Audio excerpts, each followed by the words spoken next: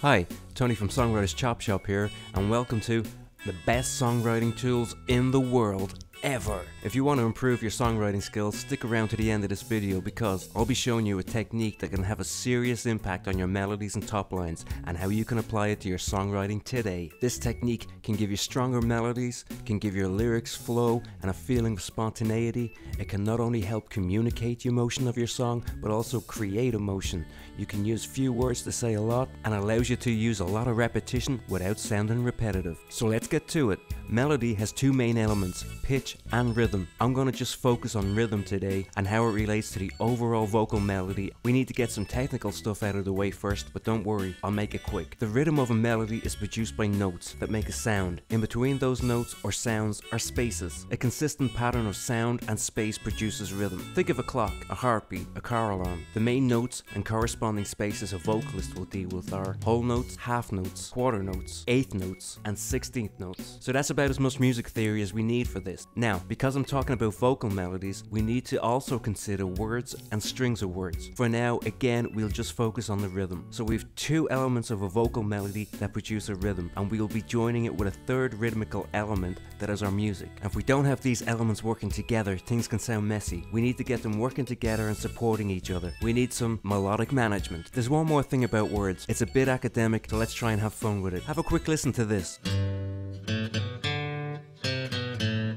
I'm gonna take my horse to Old Town Road. I'm gonna ride till I can't no more. I'm gonna take my horse to Old Town Road. I'm gonna ride till I can't no more.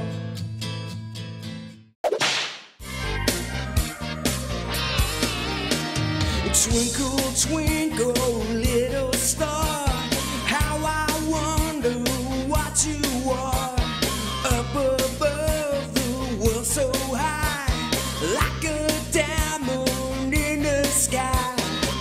somewhat nursery rhyme-ish. Like I said, words produce a rhythm, but they also have their own internal rhythm. This rhythm occurs because words are made up of syllables, and these syllables are either stressed or unstressed. No one knows what makes a syllable stressed. Maybe it's losing a job, a bad breakup, getting slammed on Twitter for something they said in the wee hours while doped up on meds. The fact is, it happens. There are stressed syllables in the world, and we shouldn't just ignore them, especially if you're a songwriter. The technical term for this in song and poetry is meter. Both Twinkle Twinkle Little Star and You Give Love a Bad Name have the same amount of stressed syllables in each line, meaning they have the same meter. So rhythmically, these two melodies are similar, but in all the ways that matters in songwriting, they're identical. Let's have a look at them through the dumb dad system, where stressed syllables are replaced with dumb and unstressed syllables are replaced with da. The nursery rhyme is a little more straightforward as you'd expect, but we see the same amount of stressed syllables per line placed in the same position in the musical bar. If you need to, go back and have a listen. Hear how the dumb stressed syllables fall on the main musical beats of the bar. That's the whole point of this, so make sure you can hear it.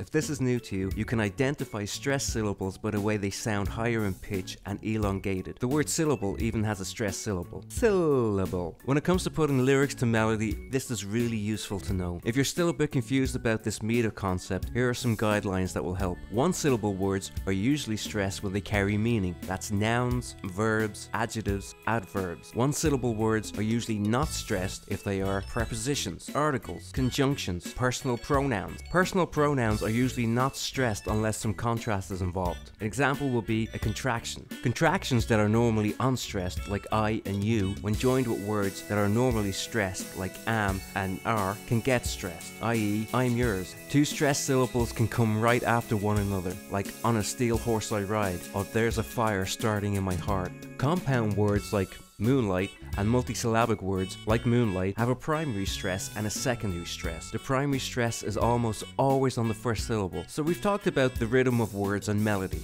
Now let's talk about putting them to work and how they can make our melodies better. Let's look at some different examples of melodies where the melodic pitch changes but the melodic rhythm stays the same. Like everything else in life, a melody is easier to work with when broken into manageable chunks.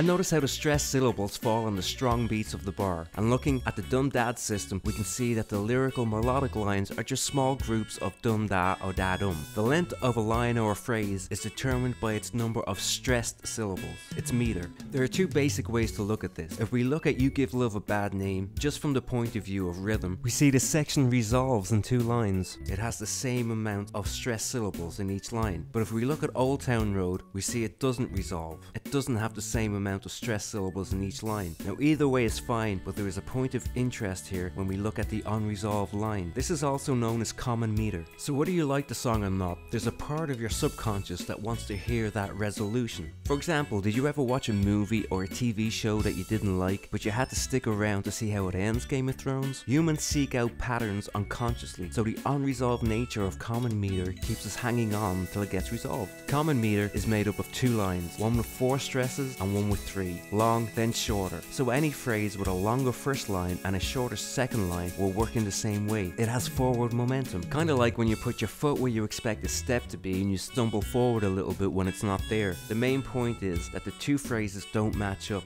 This can also have an effect on the content of the lyrics. I think a good example of this is something Paul McCartney said during an interview with Stephen Colbert. He talked about how some of the great singers like Sinatra and Elvis covered his song Yesterday and mentions how they all slightly changed the words. In the middle, I go, I said something wrong. Now I long for yesterday. Well, all of them said, I must have said something wrong. They're not owning up. If we look at this in terms of meter, we see that the extra syllables of musta adds length to the second line. So there we're back to the longer line, shorter line. Now the last line is shorter and not resolved. We're left hanging. We're left longing for a resolution. The extra syllable throws the section off balance and actually changes the deeper meaning of the lyric. So Paul is singing a fact, and this is supported by how he organizes his phrases, structured in lines of even meter. He longs for yesterday, sure, but he knows what he did. The others just seem confused confused by what happened. Oh, I don't know why she left. Did I do something wrong? Well, yes, you did, and even your song structure is telling us how oblivious you are to the needs and wants of others. With the extra word, the balance is thrown off and the confusion is implied in the structure of the lyrics. So where you place words in a melodic lyrical line can have a big impact, and we can use this to our advantage. So this concept has two elements when it comes to songwriting, the rhythm of lyrics and how they line up with the melody of a song. I know I said I wasn't going to talk about pitch, but just as a side note, the pitch of a lyrical note won't have as much of a highlighting effect as placing it on a strong beat of a bar.